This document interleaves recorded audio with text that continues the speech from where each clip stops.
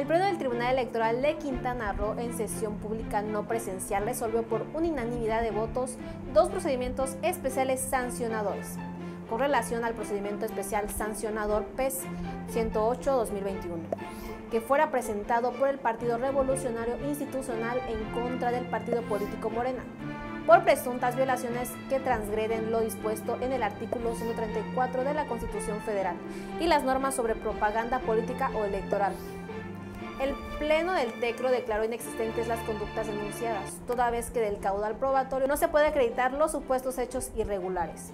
Ahora bien, sobre el procedimiento especial sancionador PES 111-2021 que fuera interpuesto por el Partido del Trabajo en contra de la coalición Va por Quintana Roo y Roxana Lili Campos Miranda por la supuesta difusión de propaganda electoral durante la veda electoral. La magistrada y los magistrados determinaron sobre ser el citado asunto ya que los actos denunciados han sido totalmente consumados de forma irreparable. Mi nombre es Jimena Aquino y no olviden seguirnos en nuestras diferentes plataformas. Hasta la próxima.